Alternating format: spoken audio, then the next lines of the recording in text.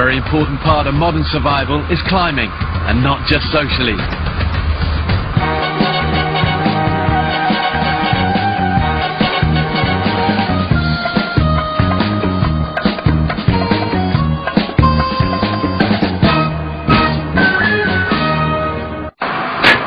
It's always more important to play and have fun than just look cool. Look at that for a view. Well, that's where the party is. You hear the music. Okay, let's go. Some people are afraid of meeting new people, but fear's okay.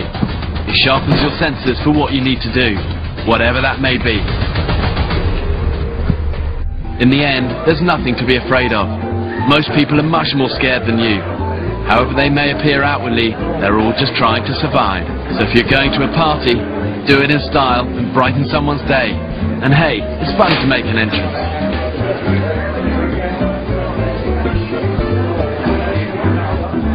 First things first, dress to kill.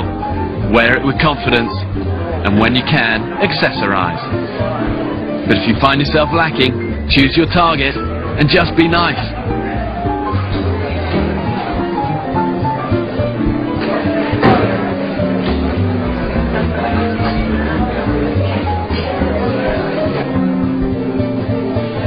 Job done.